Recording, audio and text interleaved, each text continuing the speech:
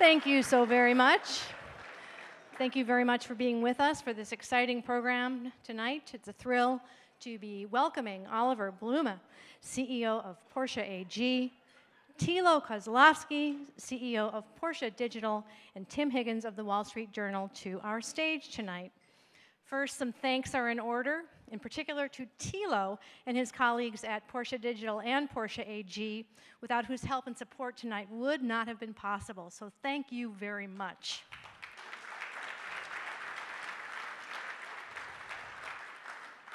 A few words about Churchill Club. We have proudly served for over three remarkable decades as the premier independent stage for conversations about business and technology here in the Silicon Valley region.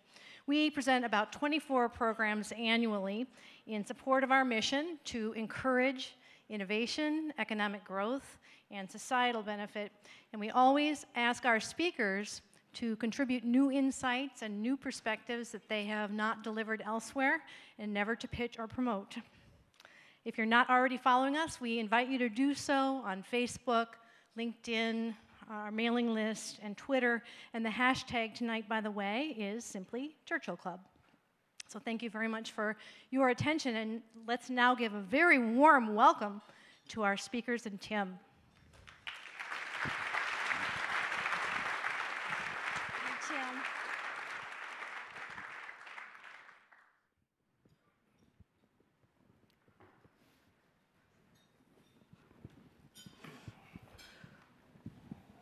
Welcome. This was going to be a lot of fun. Uh, I'm Tim Higgins. I'm with the Wall Street Journal. I write about the future of cars here from San Francisco. I spent almost a decade in Detroit writing about cars uh, there and the global industry, and then some time out here writing about tech. And now we're putting it all together at the most perhaps interesting time in the automotive industry since 1903 when Henry Ford was doing some things back in Detroit. Uh, how about we start off maybe a short introduction of who we are, and then we'll uh, start getting into questions. Yeah, maybe I start. Um, hello, good evening. My name is Oliver Blume. Thanks for coming, and I'm looking forward um, to talk a bit about um, the future of uh, automobility and um, especially about the future of, um, of sports cars. And I hope you can understand my hard German accent. yeah, I'm uh, 49 years old, uh, married, uh, have two children and I'm a mechanical engineer and started my career in Audi, where I worked um, over 10 years. Then I went for five years to Barcelona, to Spain. Uh, then spent um, four years in Volkswagen, and during my career, um, I spent uh, one year in South Africa, uh, one year in Mexico, and um, spent a long time in, in China, and um, being in touch uh, with the development there in, in the country and um, started in uh, 2013 in uh, Porsche in charge of um, the head of production. And two years ago, I became head um, and CEO of uh, Porsche and now driving Porsche to the future. Great.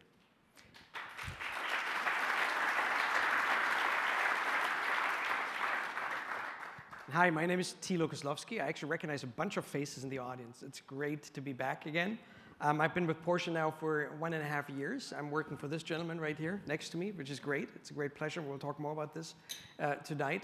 Prior to that, I used to work for a company called Gartner, technology advisory company, where I founded the automotive and smart mobility practice uh, almost 20 years ago. No, actually 20 years ago, 1997, here in the Valley. And since then, I've been working with a lot of the automotive companies, technology companies, investors, uh, startups, and met a bunch of great people here in the Valley, but also in other places of the world. But I still believe this place here is very unique, and we'll talk about this.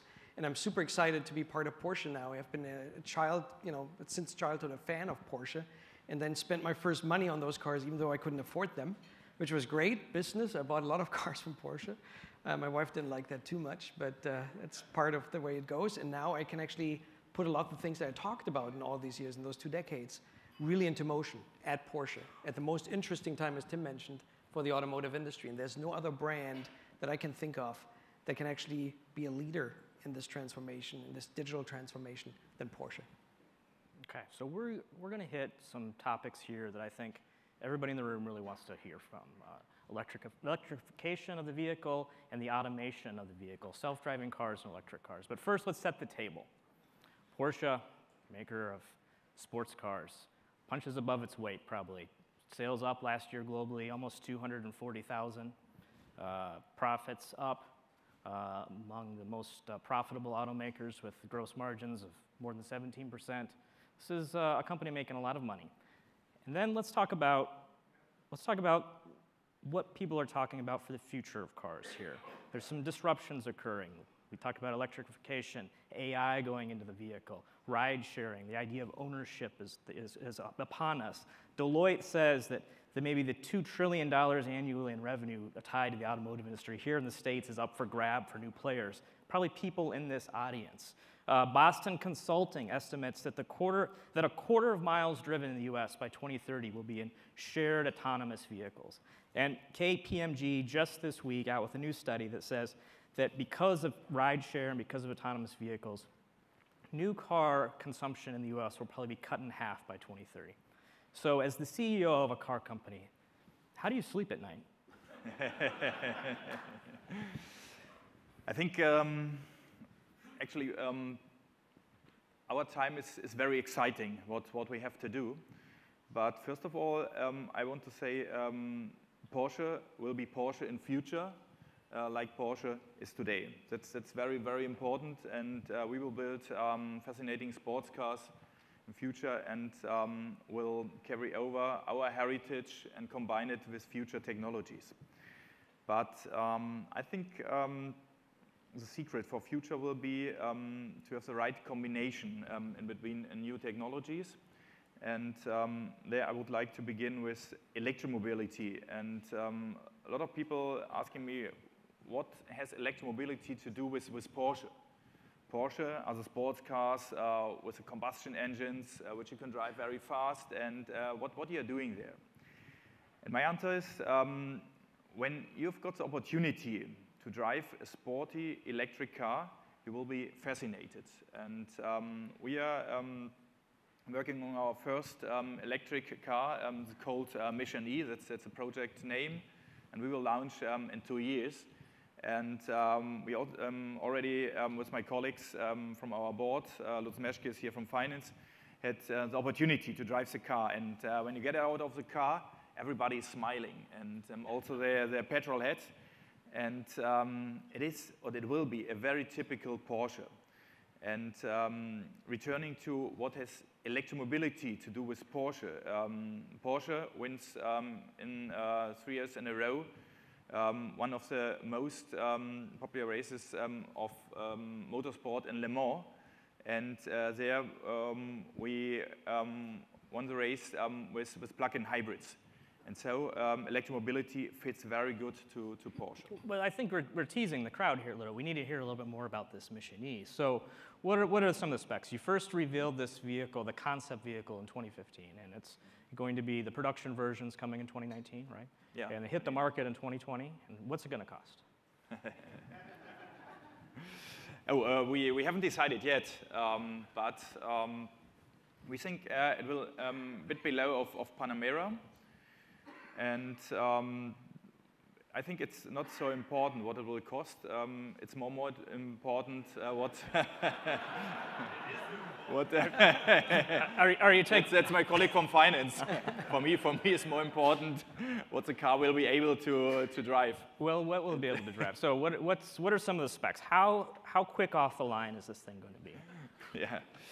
Um, first of all, we have a special technology. Um, which we will launch uh, the car. It's an 800 voltage um, technology. It will be um, the first um, car in the market that will come with, with 800 voltage, which um, will allow us to uh, charge um, the car in 50 minutes um, up to 400 kilometers uh, to go.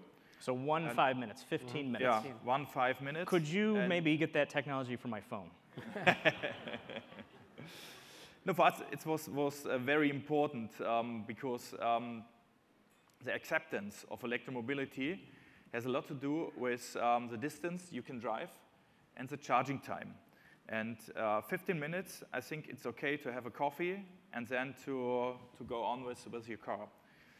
That's one important point. The other point is uh, when we bring a Porsche with electromobility, it has to be fast. And um, we will speed up um, over 250 kilometers uh, per hour.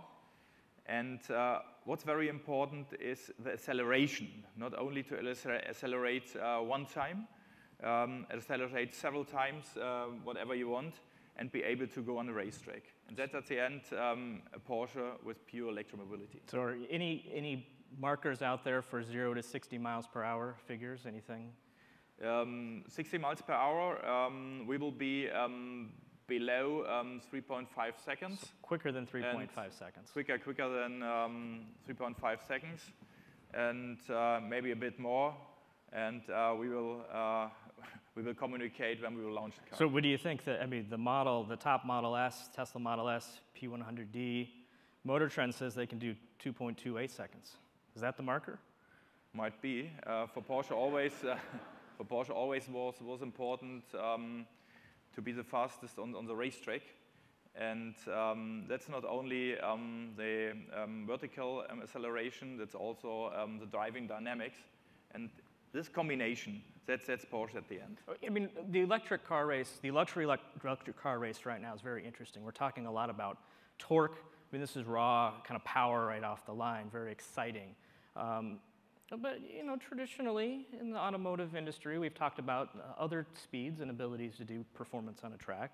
Um, what about the Nuremberg? How do you think it'll do there? The Nürburgring. Yeah.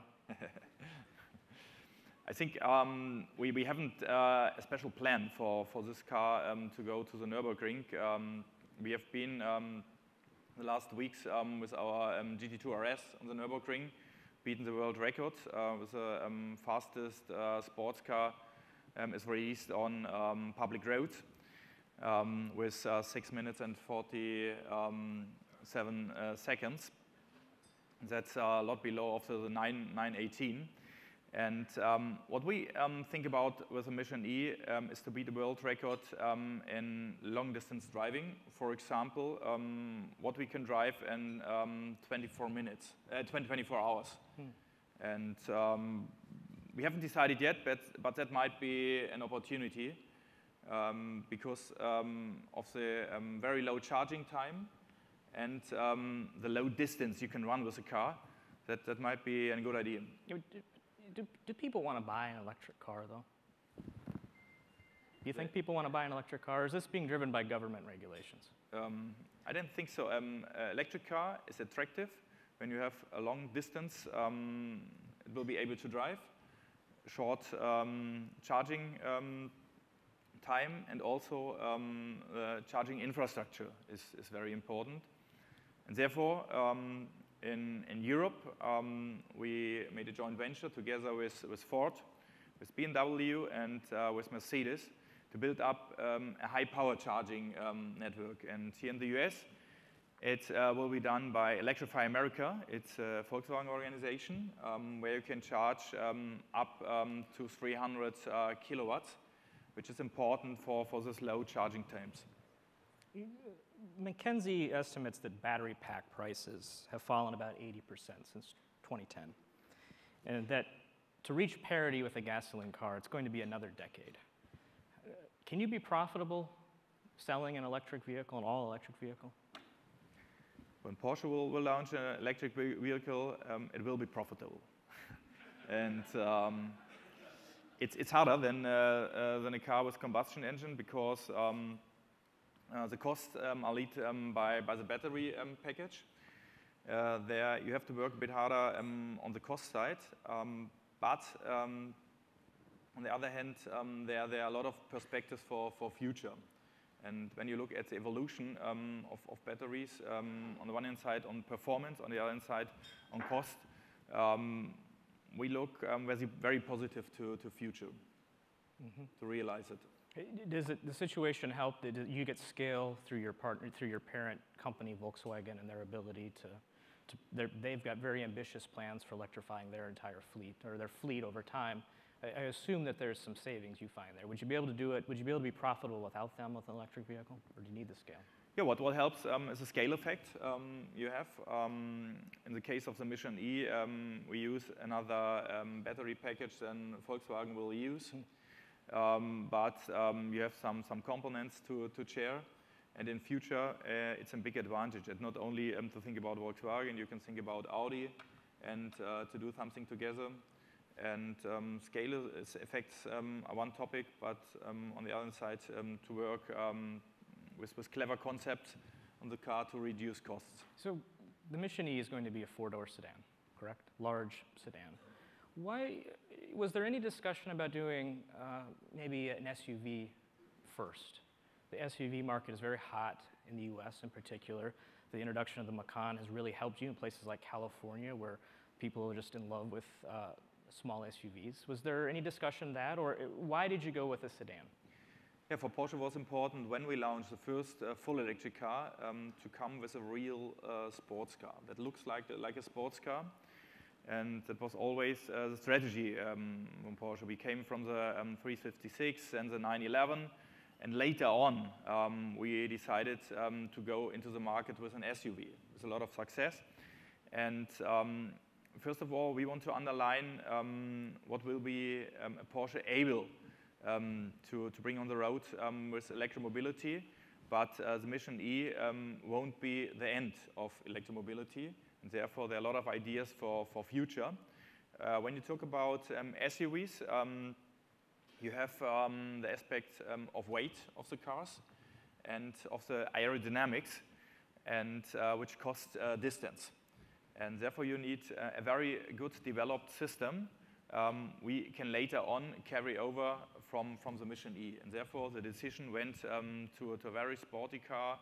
And um, then um, in, in, future days, um, we might think um, about an SUV or similar car. Do you, I mean, the interim between all electric and gas at this point, there's plug-in hybrids. And do you see more of those in the next few years? I mean, you're already doing a good percentage in Europe of, of plug-in hybrids. Yeah. We think um, the plug-in hybrids are very good bridging technology. And um, our um, strategy for, for future will be we stay on um, very good um, um, combustion engines with, with a high performance.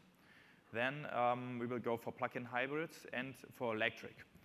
And that will be for the next 10, 10 or 15 years. And um, we have a very good experience um, with our new plug-in hybrids. Um, they came with a new Panamera last year.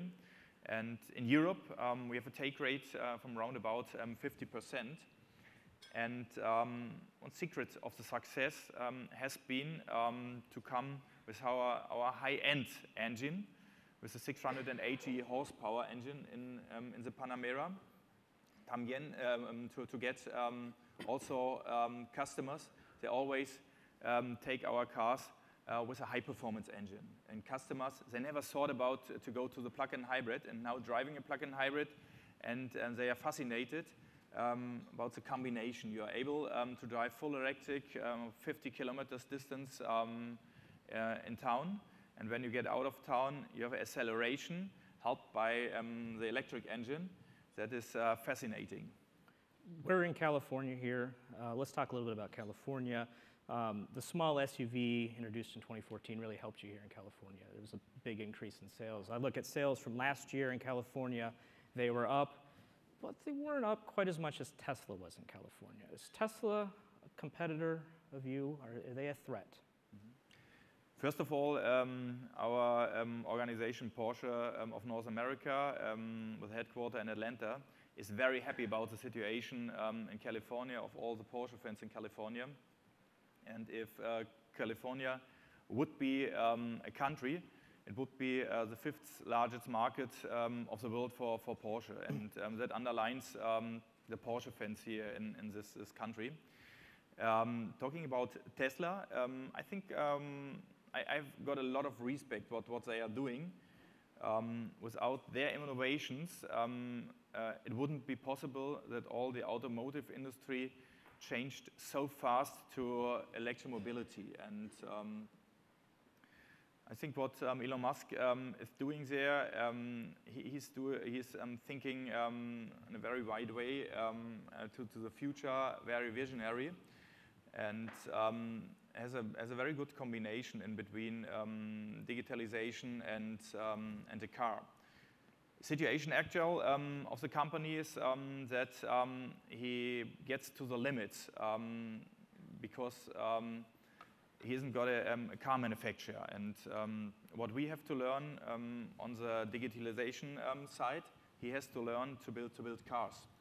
And um, but I think um, he's a very good competitor, and I've got a lot of respect. That's a great segue into to your new role at Porsche. I've known you for a lot of years. I remember talking to you in 2010. You were one of the few analysts in the automotive industry who saw the convergence of Silicon Valley and the traditional auto space.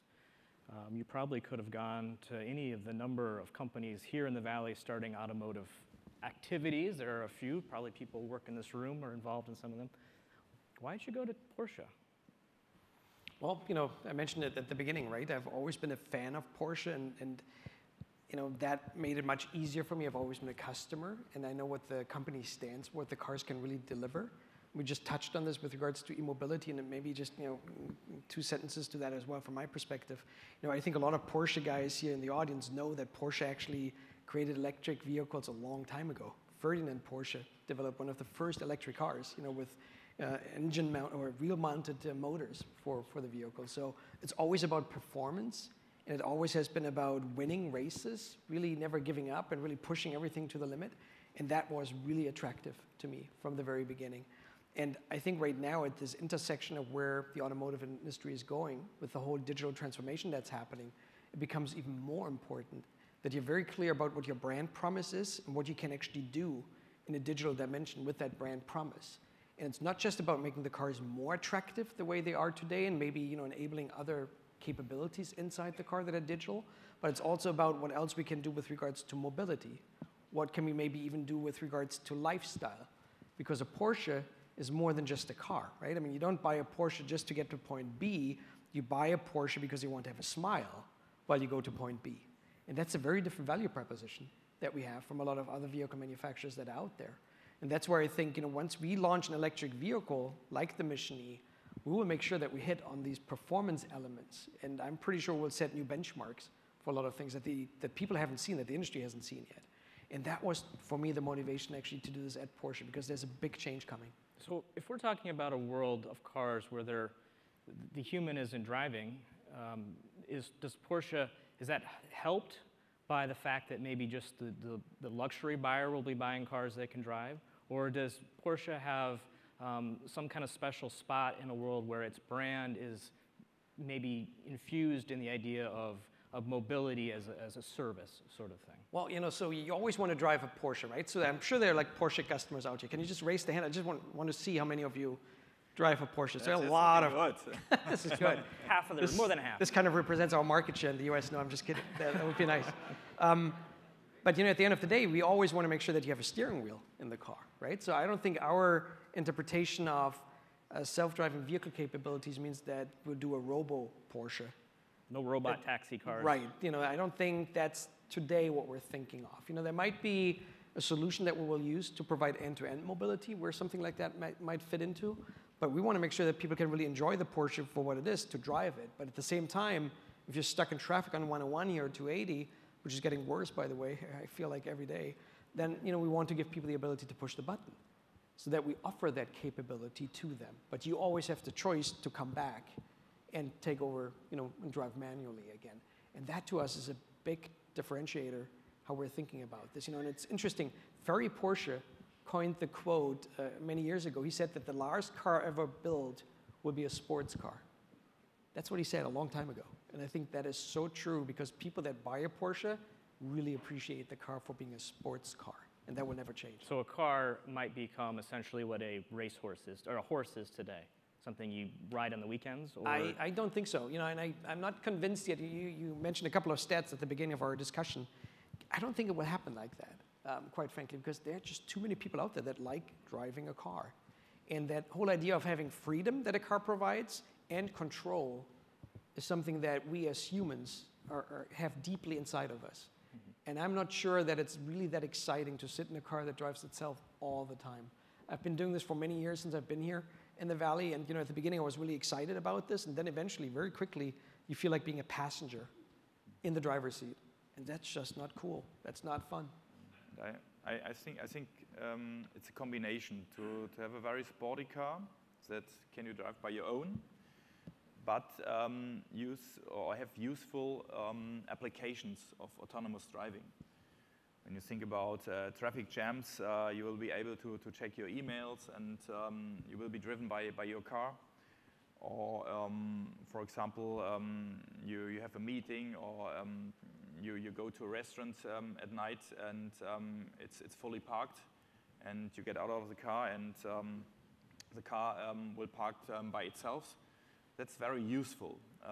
And when we think about applications of autonomous driving, we also think in very typical Porsche applications. For example, to have application that drives you on a racetrack. Um, uh, we think that that's our project name. It's, it's a Mark Webber app, um, a known um, Formula One driver um, and um, Le Mans driver. Um, and he takes you on a digital way on a racetrack, and afterwards you do it by, by your own and compare how Mark Webber is braking, how Mark Webber accelerates the car to find the ideal course to go to the racetrack. And um, this um, will be a very helpful application of autonomous driving and um, have the combination in between driving the car by yourself, but uh, useful um, parts of autonomous driving. When do you see that as an option? Soon? Next few years? Um, potential. I, I, I was, was able to, um, to test a prototype to do that. And, um, and in one moment you think, oh, will, will the car brake and um, um, will, will it work? And um, it's, it's already um, able to, to do that, but um, to be um, very sure at the end um, and, and safe.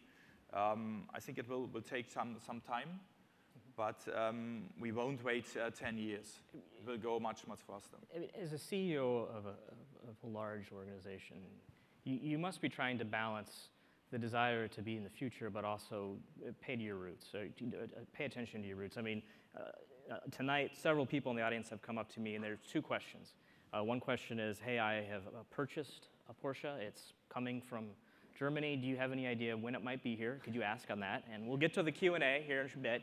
And the other question is, uh, well, are these cars becoming too computerized? Are we taking away the thrill of driving? What, what, how, how do you weigh that, that, that?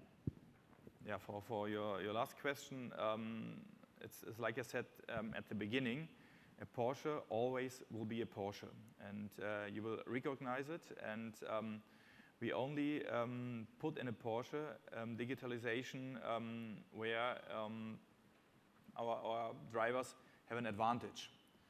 And uh, there are a lot of very good digital options, but we won't digitalize everything. You can do um, thousands of things, and we will concentrate of the 10, 20 um, most important things which will be helpful for, for our, our drivers. Um, but when you get into the car, um, you, can, you can feel that you sit in a real Porsche.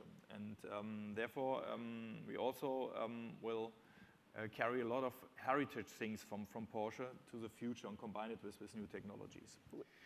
Um, to your first question, um, to understand you, you're right, is um, if we will um, produce um, one time um, in, in States um, a Porsche or Well, I think that there's some individuals here who want to buy some cars. well, you, you, you founded Porsche Digital a year ago, right? Right. And what does Porsche Digital do? And five years from now, how will we know if it was successful? So what we do is we, we define kind of the path of where Porsche needs to go to expand the success that the company has, right? So that means we create a vision, we create strategies based on this, and then we come up with you know new offerings that really provide that value proposition in the car, like I said, with regards to maybe mobility, and then also the lifestyle elements. So we're looking at, at those three dimensions. And in order to do that, we also build prototypes, we create new service offerings, new offerings in general for consumers around the world in different markets because these markets are different.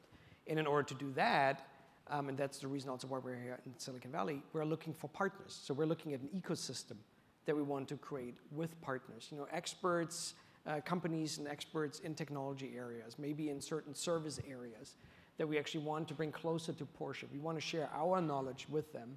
And of course, we want to benefit from their knowledge and maybe even jointly create things going forward. So we're very open to this because that's the way Porsche does things. We always look for the best partners that can help us do these things. But we have, we have a pretty clear vision of what we want to do going forward.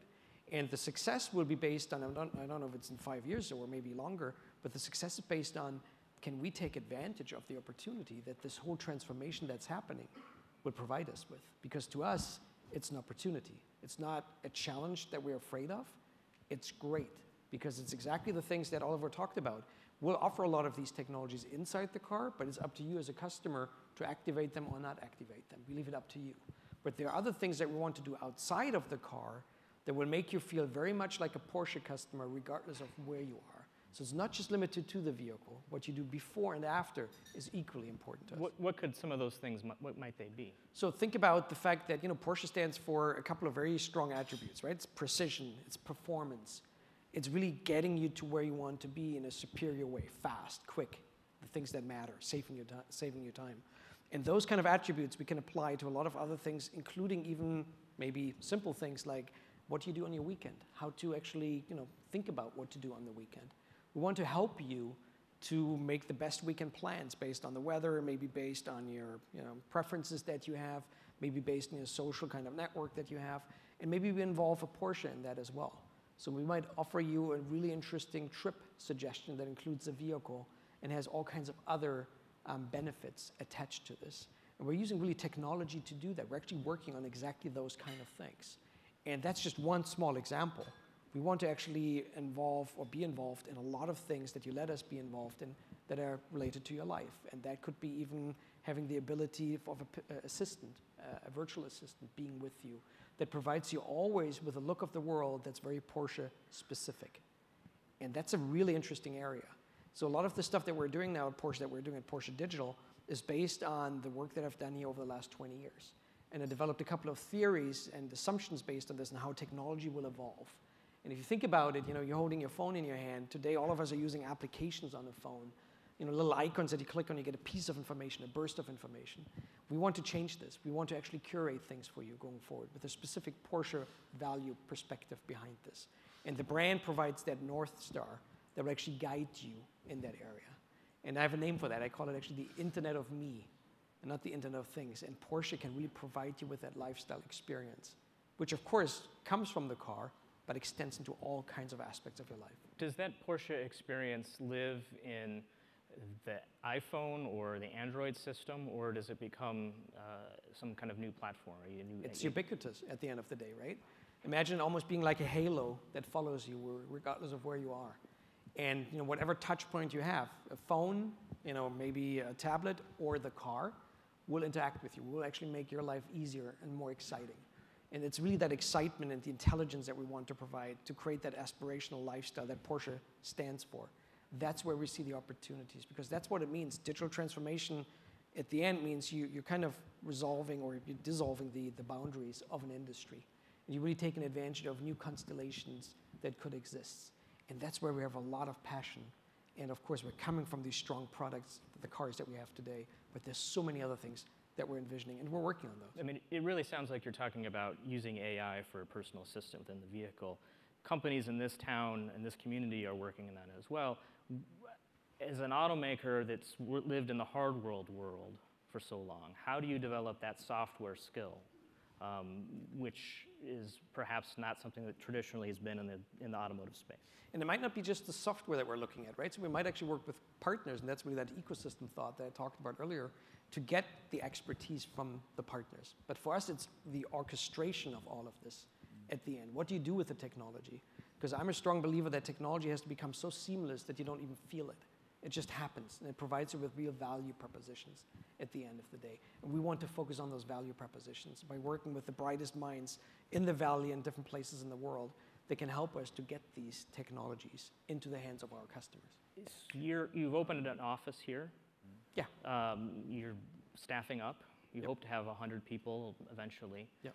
Um, is there any particular technology you're looking for? Is if, if somebody's in the audience and they've got um, a flux capacitor, should they talk to you? or if they really have a functioning one, yeah, they should talk to us. No, but uh, yeah, maybe. But we're really interested in uh, you know a lot of different skills, right? So it's definitely people that really want to do something, create something, that are visionary as well that understand what the Porsche brand stands for, and then having people on the developer side, for example, that can help us do this. Equally, though, on the UX side. So everything that we do is centered on the user experience. Again, it has to be intelligent, you know, exciting, and aspirational. So we need those kind of people that really do things. But it also includes people that are interested in working with startups, work uh, on prototypes, really pilot things. Bright minds that really get excited and infected by that Porsche bug, you know, to really be part of a great story that's becoming even more interesting and that started a couple of decades ago. And um, to, to, add, to add something, um, Thilo, Thilo was, was talking about um, the technologies uh, we are thinking about. And um, what I think is, is, the most important point, um, we, we just started to, to build um, an ecosystem for, for Porsche.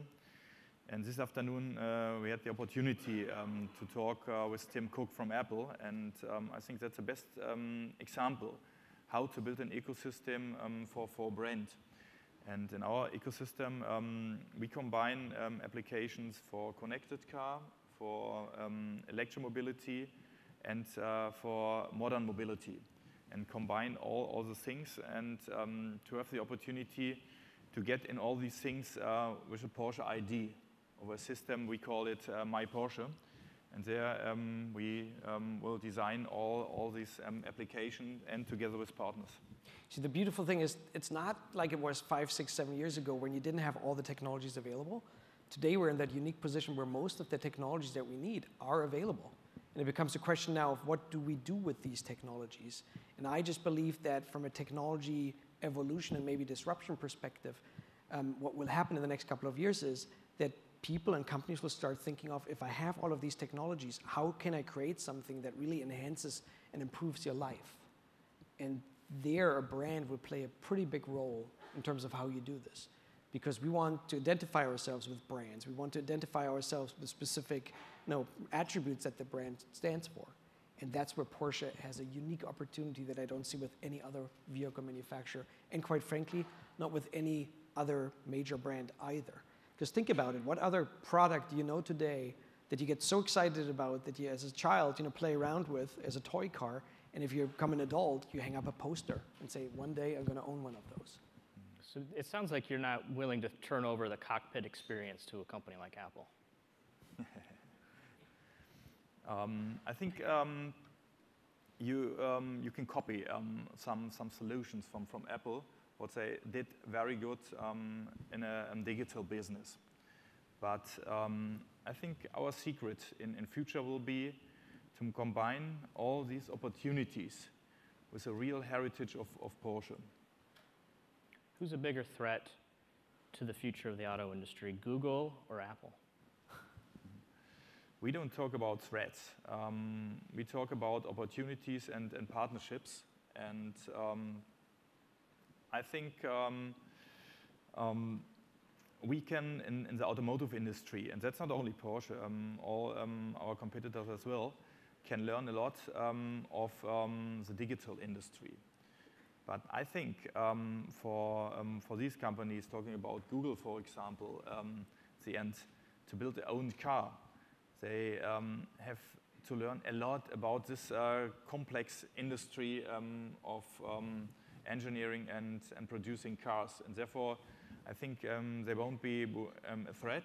Um, and um, when they um, will look for, for partnerships, that might be um, the right way for, for companies coming from, from digital business. And for, for our companies in the automotive business, um, is to learn um, from the digital business and um, to look for, for partnerships. It, if you were a mass producer of cars, would you be more scared right now of the future? Are they the, is the threat that they become the handset maker of I, think there's a there's an you know big benefit to the fact that we're very specific, right, in terms of what we do, what our products stand for. That's definitely a big asset because it's just about transportation. Yeah, I do believe there will be other alternatives going forward where you might not even own a vehicle. Um, but even if that's the case, we're looking into those things as well. You know, we just started a pilot in Atlanta called uh, Porsche Passport, where we give people the opportunity to just you know sign up on a subscription plan, and then for on a monthly basis you can get for you know some money um, the kind of Porsche that you want. You can switch it. You can actually change cars you know, from the 911 to the Cayenne. So we're looking into, the, into those aspects as well. But I think if you have no specific brand recognition, and no specific performance attributes, yeah, there will be a challenge. At the same time, you know, with Uber and Lyft and all these companies being so successful over the last couple of years, we haven't seen that car sales go down. And that's why I'm not convinced yet by some of those statistics. I think all of us will drive more, and the ones that will suffer will probably be the public transportation companies, quite frankly, because at the end of the day, all of us still want to be in our little capsule. And a lot of you guys here in the audience, like ourselves here, like that capsule to be a very sportive one. You just announced the other day uh, a, a, joint venture with Axel Springer in Germany, the media company. What, what is a media company and a car company doing together in a joint venture? What, what's the vision there? So yeah, we're very excited about this. So this was just announced uh, a week ago. And uh, Axel Springer, you know, for those of you that are not familiar with it, it's, it's a very big media company in Europe. It's a German company with European footprint, actually global footprint for that matter. And it's the first time that two companies out of different industries are forming a joint venture for an accelerator for startups. I mentioned earlier that for us it's very important to have an ecosystem approach and that we're looking into innovators from around the world. And that means also startups, even very early startups, you know, people that are just at the process of beginning to have a concept, an idea, and now they want to turn it into a company. We want to help those organizations, and that's why we joined forces. So we'll actually have a space for these companies to come to to continue developing their ideas. Plus, and that's really the value of this, you know, we'll give them a little bit of money as well, but that's not even the, the key aspect. The real benefit is we will help them understand how to become a successful business. And we will help them to build together jointly prototypes. So if you find somebody, you know, maybe even here in the audience who says, hey, I'm really interested in this, this is, you know, this is an interesting uh, company and we have a really great idea that we want to bring to Porsche, come and talk to us because we'll actually work with you and implement those innovations in our products and do something unique and do it really, really fast. Porsche is known for being very quick, not just on the road, but even with our processes because we're a smaller organization. And that's what that is about, you know. And that's the exciting situation today that you can learn a lot of um, other business models and other, other industries. Talking about um, Axel Springer, um, 10 years ago, um, it was a traditional um, press company and um, they changed very fast to digital business because the media industry has got another pressure. And today, Axel Springer has over 70% of their business um, on the digital side. And there we can learn how to change uh, the company and um, pick up some, some interesting startups and to do it together. And, and you know, the, the, interesting aspect is, and you asked me earlier about why did I join Porsche, you know, the, the people within Porsche, and in particular also the board that we have, meaning this gentleman, but also this gentleman over here, we have two people here from the board, Lutz Meschke, the CFO, they're very open to this new innovation and new way of thinking, which is very unique. You don't find that everywhere in the automotive industry. And being willing to even extend, you know, your own thoughts beyond the industry that you have been in for most of your life is a pretty big accomplishment for a lot of the automotive companies that are out there. Most of them can't even do that. So that's where we're looking into working with Axel Springer and working with startups to really focus on those aspects. And there are other partners, by the way, as well. I see somebody in the audience from eVentures. You know, eVentures is a, a VC um, that we're working with as a limited partner, and, and we have great relationships with a bunch of others that are here in the audience as well. I think one of the knocks against the automotive industry that you hear in Silicon Valley is that the, the clock speed is not fast enough. Uh, the ability to, to move quickly and innovate isn't there. And some of that is, is there's a reason for that. Regulations, um, it's complicated supply chains. Um, it takes years, five to seven years to bring out a new product. Um, what have you found being inside it now? You've been on the outside, now you've been on the inside. Um, is Silicon Valley right that car companies are too slow, or do you see a way to, to speed up product development? Look, if, if you do software, if you do software development, everything else will be slow by default. That's just the way it is. But building a product that consists of thousands of different parts and is life size and actually has to survive in a crash to protect you, that's a very different story. You can't do that in a, in a sprint that takes a week, right? It, you need much more discipline in order to get a real good product out of this that also has the highest quality levels.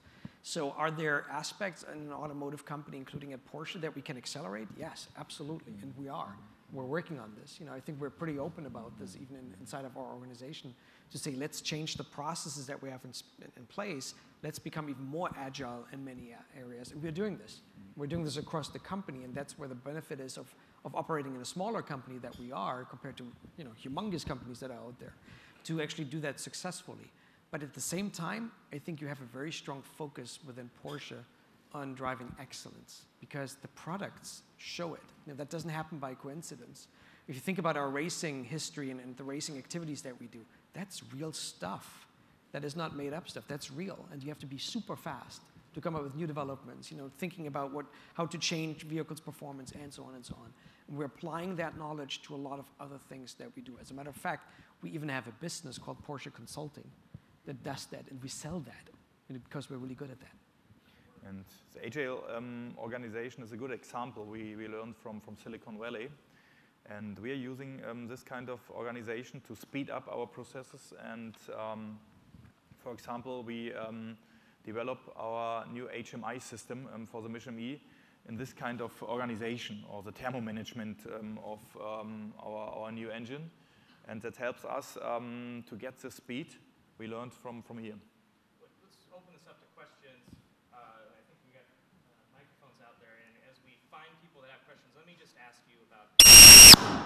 Oui. Oui. Ready for Q&A. yeah. to wake up, wake up everybody. everybody okay? Okay, so I don't know if anybody can still hear me. one of, one of the, the big innovations that Tesla has done is over-the-air updates to the software in the vehicle. So essentially, like your cell phone, your car can be updated in software. Mm -hmm. And we've seen things such as battery management change. We've seen the, the ludicrous speeds and these sorts of things. Um, we hear a lot of automakers talk about getting to this ability. Uh, in most cases, the conversation is about uh, probably looking for uh, fixes in the car, telling the, the, the, driver to bring their car in for, for, for changes or something like that. Everybody hear me now? I'll talk really loud. Uh, Yeah, it's perfect. Okay. No, so we, we're talking about over-the-air updates. Do you have a, what, what is your vision for how to use that technology? Do you see an, an ability to generate revenue there? Yeah, absolutely. Mm. So we're thinking about you know turning on features and functions in the vehicle, right? Not just to provide a software update. That's part of it too, but we want to really focus on giving you new things after you purchase the vehicle. There you can think, um, for example, um, and uh, we will come um, with these features um, with the Mission E um, to get an update with, with your um, headlights um, in winter, for example, or uh, when you want to go on weekends um, on a racetrack um, to, um, to get a special sporty gear application or something like that, and uh, that you can get over the air and can, can buy it in your car. Okay, so we have uh, folks with microphones. Raise your hand if you have a question and I'll start getting those around, and we'll ask another couple questions as people get the mm-hmm. microphones there. And uh, you know, talk to me. We've we've talked a lot about Silicon Valley. Um, what do they get wrong about the car business? what does Silicon Valley get wrong? What what assumptions do they have wrong about the car business? I think you know some of the Silicon Valley companies may have seen this in a simplified way to build a car because that's really a, a skill set that you need to acquire over, over a long time, right? A lot of the established companies have done this for decades. To, mm. to just think you'd buy a factory and then you know everything happens magically it just isn't like that. That's physics. It's really you know mechanical processes right that, that come together. Chemistry if you weld things and so on. And, and you really have to understand what that means if you do it on mass and scale there are hundreds of processes behind. Uh, when you look uh, at the launching situation um, in, in, Tesla, for example, you have to um, manage um, a lot of companies um, and suppliers. Um, you have to manage your, your own um, processes and to make a quality system and so on. And uh, what Thilo said, that's learned by decades, and you can, you can uh, learn it overnight to, to applicate it. Okay, do we got a question out there? Hello. Uh, as a native to the Bay Area, I want to say I'm fascinated by Porsche's decision to come to Silicon Valley. And my curiosity as a longtime follower of the mark is how you, in coming to Silicon Valley, where there are so many icons, whether it's HP or Apple or, or Google, so many more, how do you intend to, and what opportunities do you see? Porsche has its own history You're bringing Schwabia here, and the brand has a, a differentiation about it. It's always done things differently. You can boil it down to more from less, but there's also a heritage of rear engined and smaller, expensive cars. The 356 was this small car that was the same price as a Jag or a Corvette or something with more power. I'm curious how you intend to, in coming here, maintain the differentiators of Porsche and its culture, its heritage. So I, I think it's exactly what you just described. You must be a Porsche customer, you know, knowing all these things, or at least you're a fan. I can tell there's something going on there. Um, but you know, I think it's exactly that. Always keeping in mind that we're different and that we want to create an experience for our customers, right? To put a smile on their face, to really make them, you know, use their car driving it down Highway 1 as a therapeutical toy, right, or, or tool, I should say. Um, that's something that we want to really focus on, and, and we have a very unique sweet spot in that regard. I can tell you from the discussions that we've had so far with technology companies here, you know, the big ones and the small ones, there's a lot of excitement to work with us on finding out exactly how we can innovate together. Okay, next question. How many years would you speculate augmented reality will be incorporated into the service side and user experience side of Porsche? Augmented reality. So, you know, we're definitely already working on some of those things. Um, if you think about it, the car is the ultimate mobile device, right?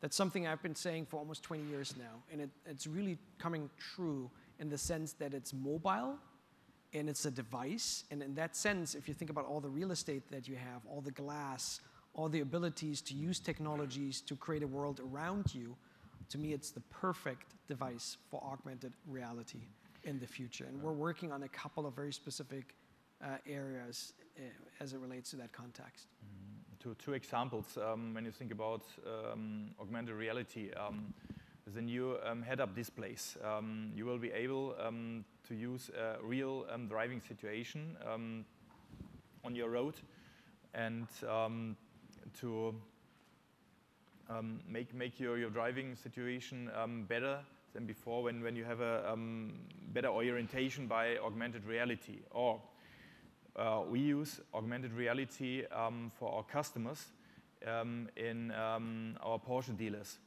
um, where you can use um, a system um, without having the car, but having the sensation to, uh, to feel the car and um, to, to choose your, um, your options you will get. And, and therefore, I think um, there, there will be a lot of opportunities uh, for future with augmented reality. Okay, next question. Uh, is it working? Okay. Yeah. Thank you. Uh, first of all, congratulations on the Nürburgring record. It's exciting. Um, and uh, I have three quick questions, one for Thilo and two for Dr. Blume. So the question for Thilo is, how do you plan to compete for talent? Because hiring smart people is the key to building a great product. I mean, if you look at Porsche history, you had, you had Hans Mezger working on the engine, and you had amazing racing drivers like Walter Röhrl that are always part of the team and helping Porsche win and succeed.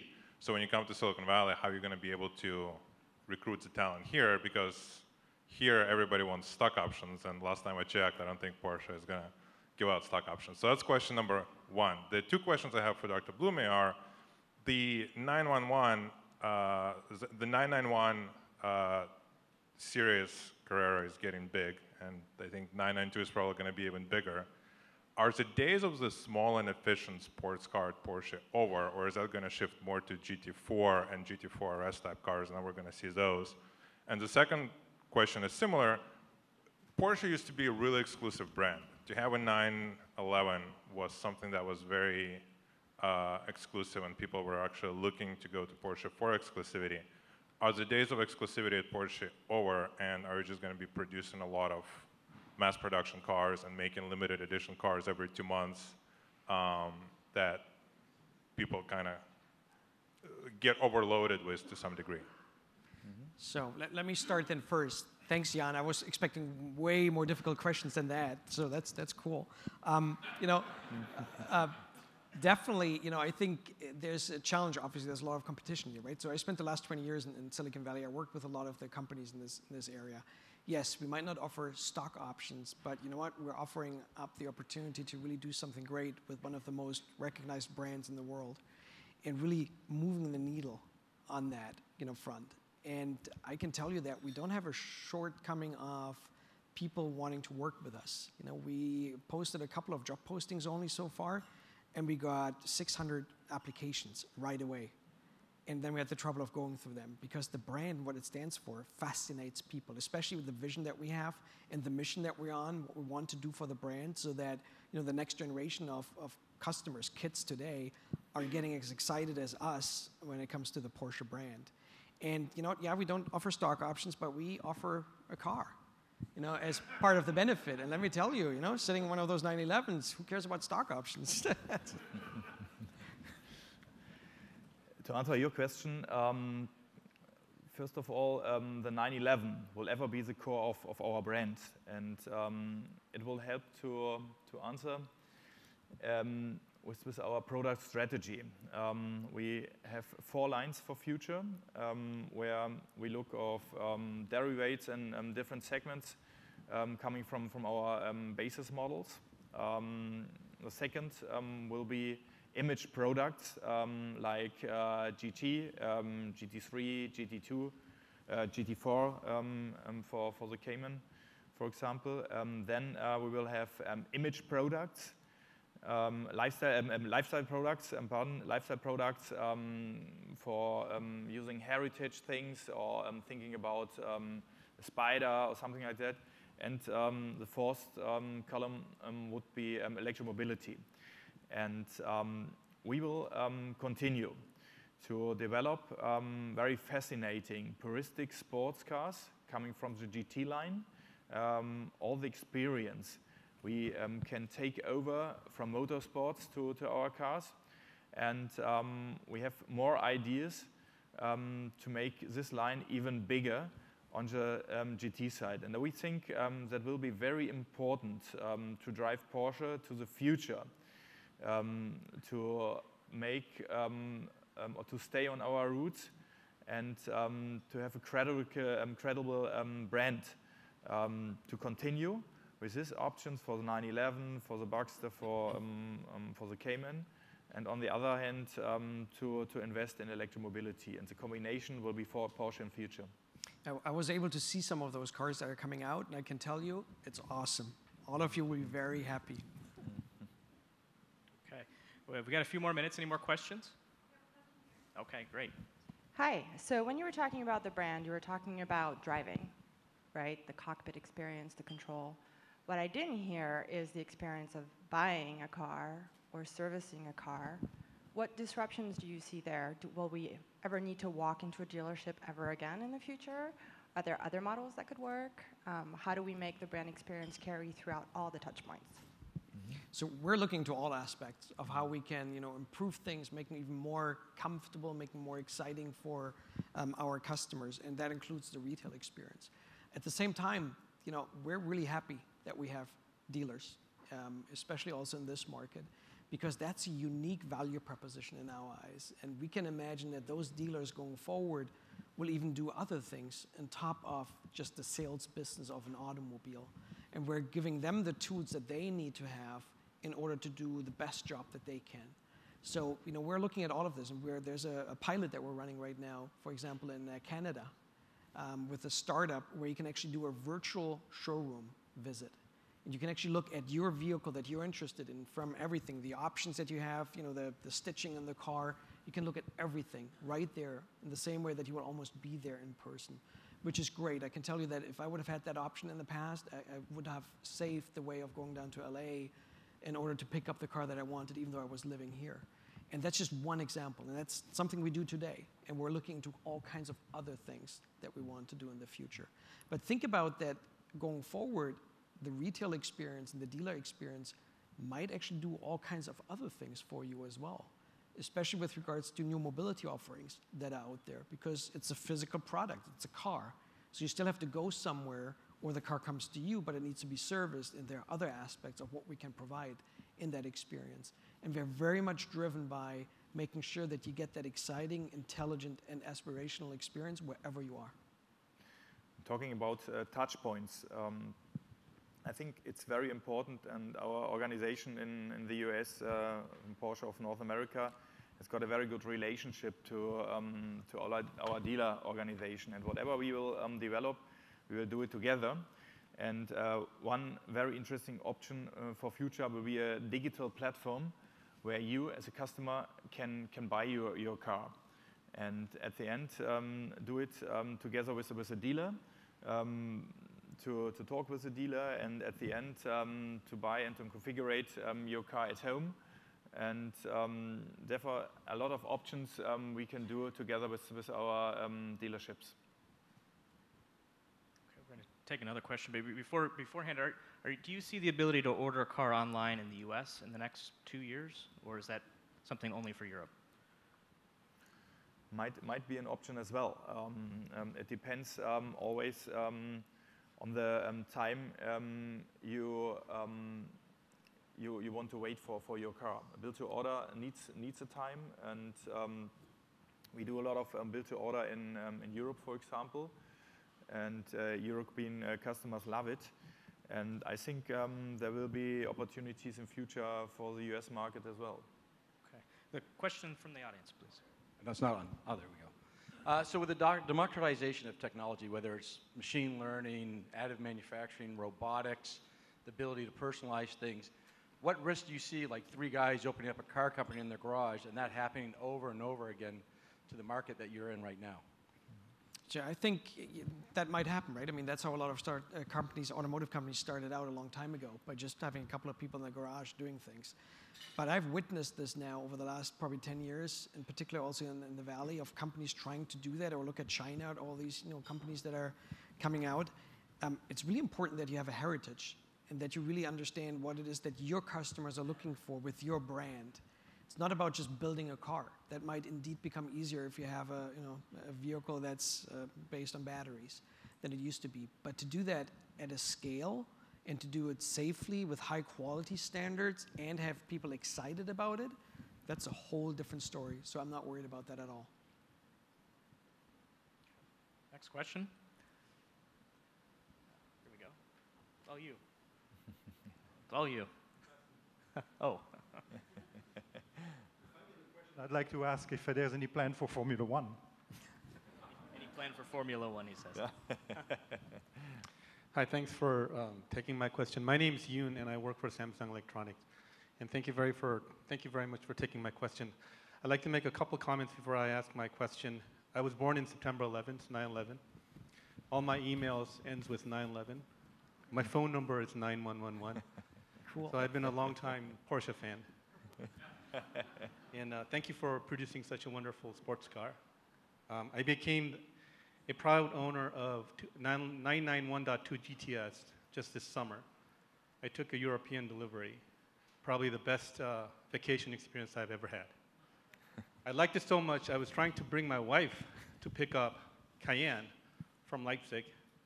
The next thing I know, the program is not offered anymore. So this may be a very specific question, but I want to understand what happened.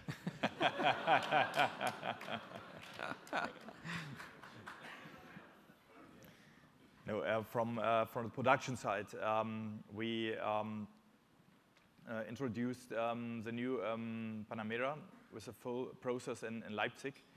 And therefore, um, we um, decided to build the new Cayenne in, in Bratislava.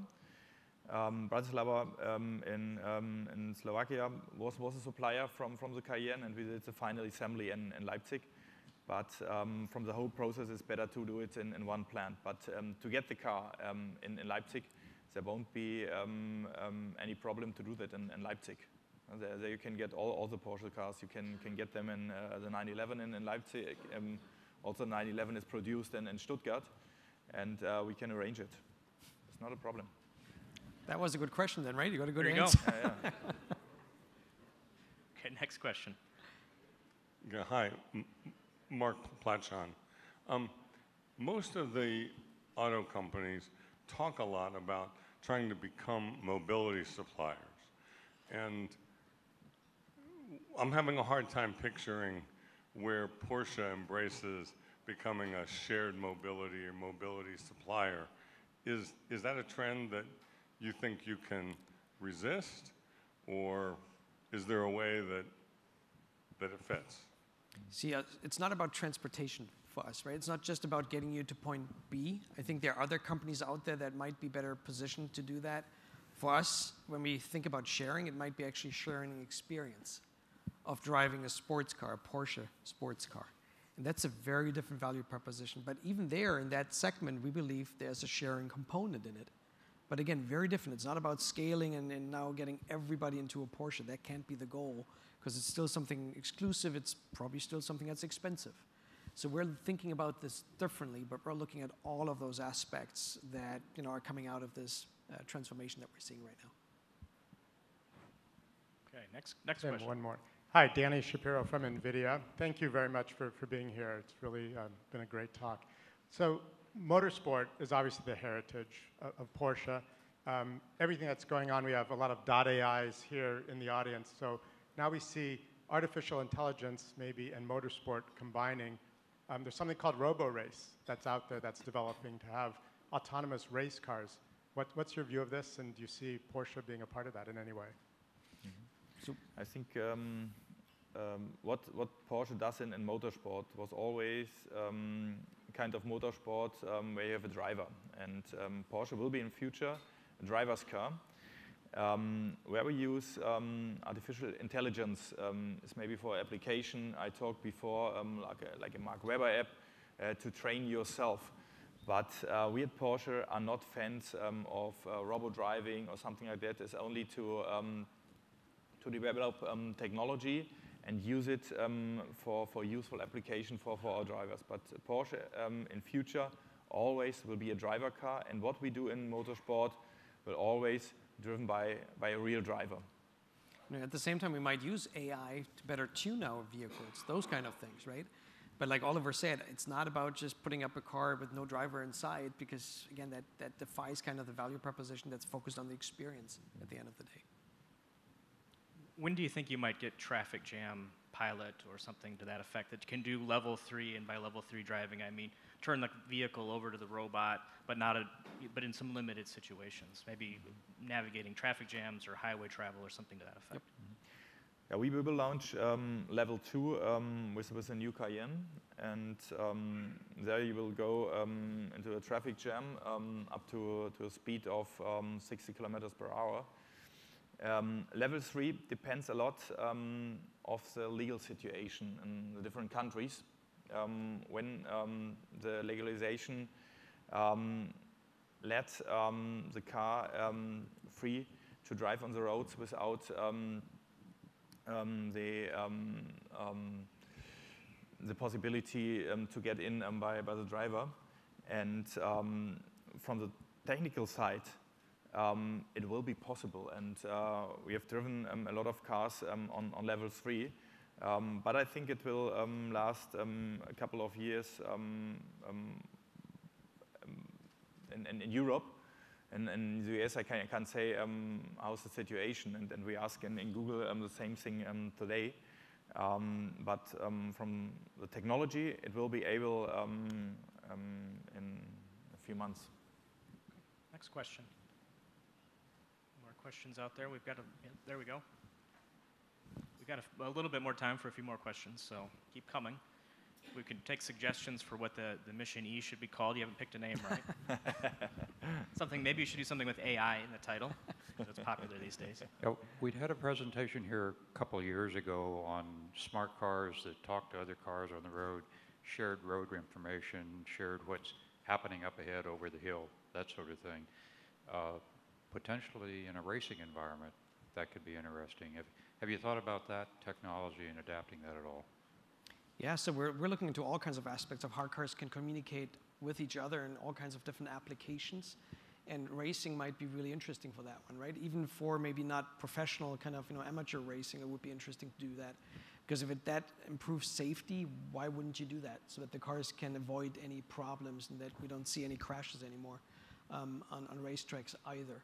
Um, I think we have to see how well the technology can perform. You know, and there was a lot of talk about car-to-car communication in the US as well. I remember that a couple of years ago, and we haven't really seen that much today, which is kind of unfortunate. And it's a little bit of a chicken and the egg thing, right? So somebody has to mandate it, and then everybody has to do it. Then there's a benefit. If otherwise we would be the first ones that have the technology, boy, we would be very lonely in talking to ourselves and nobody else out, outside there. So that might be a challenge. Okay, couple, just a couple more questions. And uh, looks like we got two hands, so maybe.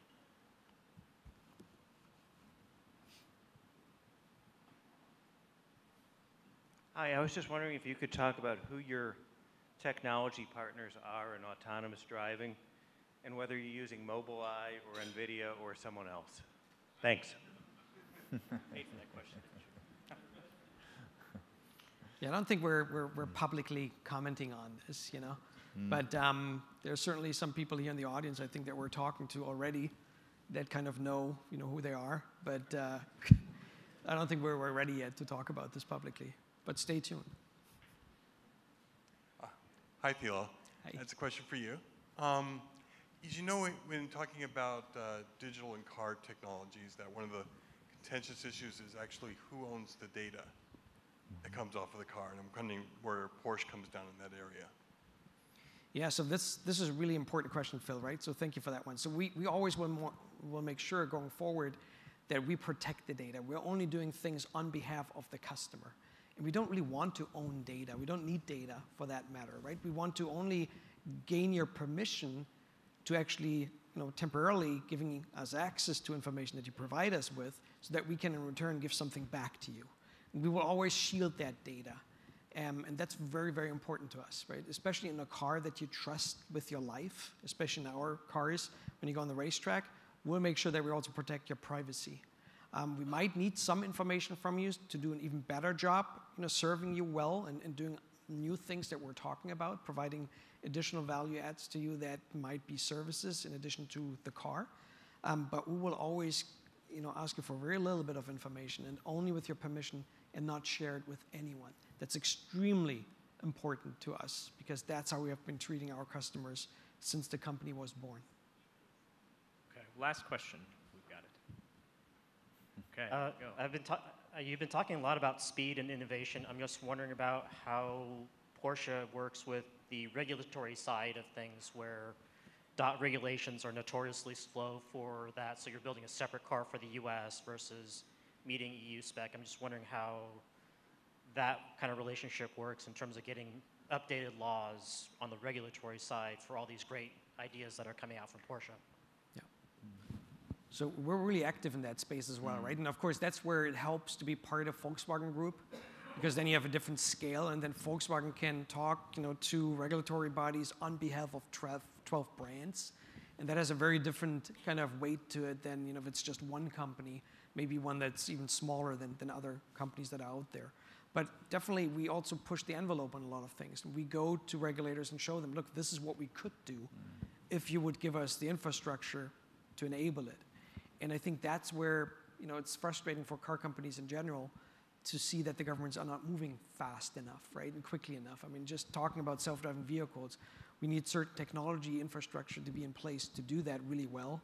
And it should be in the interest of governments to actually put these technologies down. And um, that dialogue is definitely something that we want to intensify going forward. And I think um, it's always the best way um, to start uh, from the beginning on to talk with the authorities, um, to involve them in the new technologies, um, and uh, to speed up, uh, to free them and release them um, for, for public roads. Okay, well, thank you, gentlemen. Good conversation. That was it. Cool.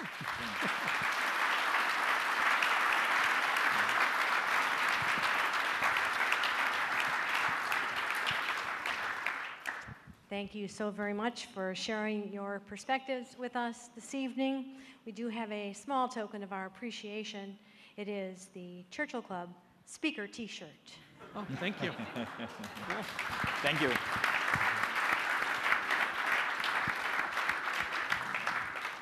Please wear that in very good health. Uh, a recording of this program will be available on the Churchill Club YouTube channel shortly. There you will find recordings of most of our other programs as well. We hope that you find that to be a very useful resource.